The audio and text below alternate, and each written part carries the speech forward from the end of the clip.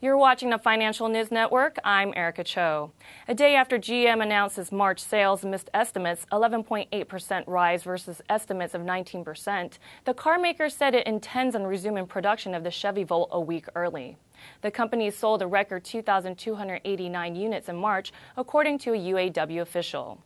General Motors has a potential upside of 34.2% based on a current price of $25.54 and an average consensus analyst price target of $34.24. For more um, updates, keep watching Financial News Network. I'm Erica Cho.